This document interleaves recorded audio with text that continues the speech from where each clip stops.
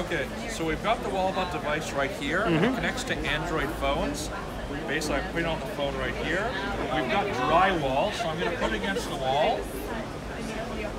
And it starts to scan. You can see here it identifies there's a wooden stud. It actually calls it out, identifying what it is exactly.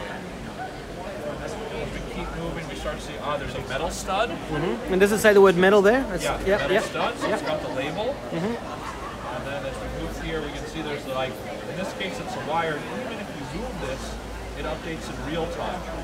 Incredible. If you've got something where, for example, you have a, uh, a pipe that's at a 90 degree angle, mm-hmm. behind here it's basically in this kind of right angle shape. You can follow the path.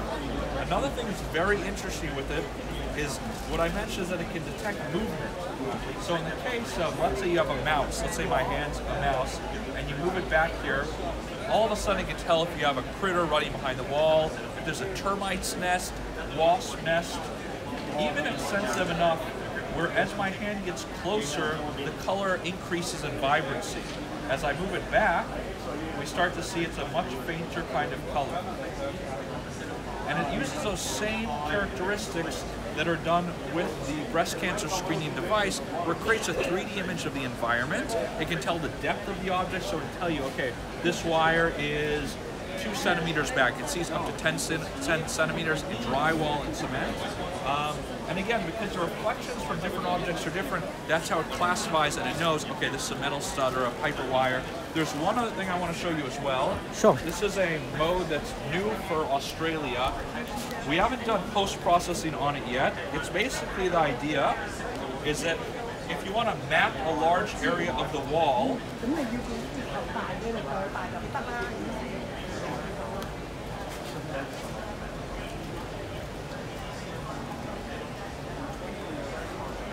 Okay, so what you can see here are three main bars. Mm-hmm. These represent these three objects in the wall. So this is a quick example, but at the same time, you picture you scan a large area of your wall, all of a sudden you start to see the whole thing. It'll really give you a map of the wall. Hmm. From there, what you would do is then go into that mode I showed before. You'd identify, okay, this is a pipe, this is a wooden stud, that kind of thing. So again, like when you think about other solutions on the market, this one, when you can actually see an image of what's going on, when you trace the path of a wire, see movement, sort of gives it uh, kind of a whole realm of different capabilities. And can you export that map and print it out on a sheet of paper or see it on an iPad screen or zoom in and out? Save it. Yeah. Um, also, even gives you the measurements between the objects. So, for example, with this kind of thing, it would say, um, like basically here, let's say it's uh, 15, 20 centimeters. I'm better with inches and centimeters. Sure, but, sure. Uh, it'll tell you actually the distance between those. So again, it's not just a map without context. You actually got the measurements to support and then make decisions kind of based on it. And that's something that you've been doing uh, before Apple had its uh, AR kit and Android had its ARCore, where they're using augmented reality and cameras to figure that out. You, you, you were already doing that. I mean, with the radio frequency technology, the 3D image uh, that it creates, I mean, it sort of gives you all that information. I mean, Yeah. where things are in space, that things are moving, that that uh, that type of thing. I can imagine robotics makers will want to use Walabot to augment the cameras they're using for eyes. That's interesting. I mean, even when I think about robots, I think about manufacturing lines, what are going on. For robots and people to be able to work together in environments, the robots can detect where people are to increase like uh, safety.